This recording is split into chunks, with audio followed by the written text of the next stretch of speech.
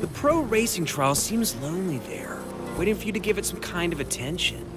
I mean, why should you try? Well, it's just some of the fastest cars in the world, and power boats, and a new plane, and what? Yeah, I know, okay. I'll shut up now.